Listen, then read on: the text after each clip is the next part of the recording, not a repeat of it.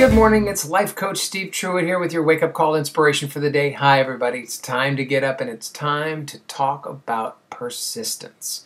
That awesome concept, which a lot of us have so much trouble sticking to. You know, January 1st, we, we, we sign up for the gym. By March 1st, we're not really going anymore. Maybe we send the first letter to a job that we want, but we don't send the second or the third. Maybe we don't follow up. It's very easy to forget or get distracted or basically give up.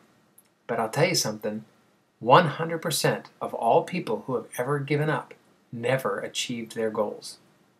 100%. Got it? But the people who remain persistent, like you, you can be this. Good looks fade, charm comes and goes, but persistence is what keeps you in the game and that's this comes from what we've been talking about for a couple of weeks now, and that's believing in yourself, letting go of all the mishigas around you, believing in what your message is, what you have to accomplish, what you believe in, which is yourself. So be persistent in your goals and in your dreams.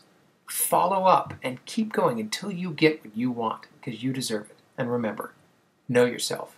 Don't know yourself.